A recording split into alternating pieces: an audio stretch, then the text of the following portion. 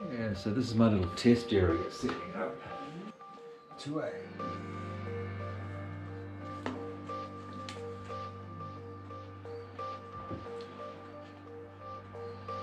That's my 2A. And now my 2B. 2C. I'm going to be testing each one. Um, basically, put the whole paint over there, put it there, dab it off, dot, dot, dot. And I'm going to use this little test piece here to see what it looks like. So as long as my sponges are kept in line, um, I can do one at a time and test them. I know what I'm doing a little bit. and 2C.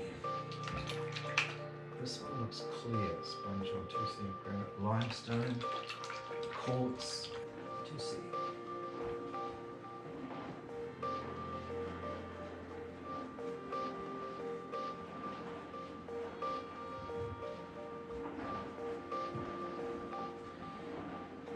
Can't see a problem with this. Wow. To A to B, to C.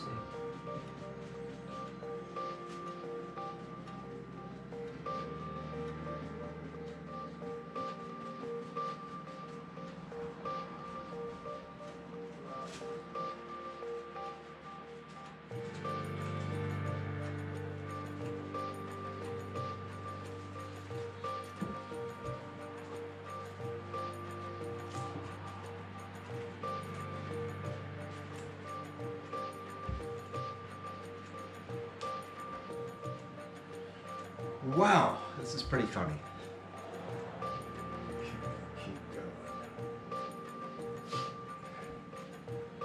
Just, just, just go Don't, don't, don't. Really, just don't touch it. I just go don't, Just go flat, flat, flat. See this one out? I'll show you. Like this. Just go, just go. Dong, dong, dong, dong. Dot, dot, dot, dot, dot. Good, you've got one. You're on. Come on. You've got to put a piece on here. You keep it flat. Just go. Come on. Just chuck on the ground. Okay. Just do, just do a little line down there. Then you, then you know you've done a line in my house. Just go flat. Perfect. Nice. You're in now. Good. Isn't it good? Yeah, it's, it's good, good. That's good.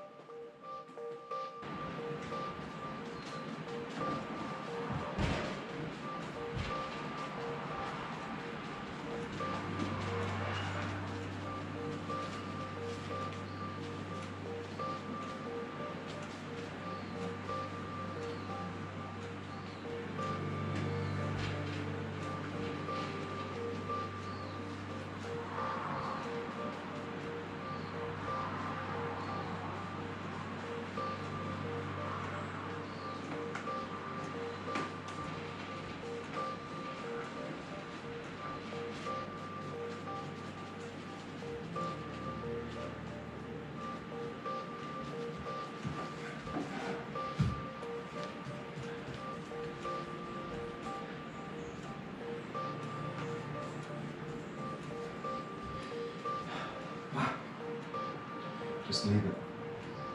Just leave it.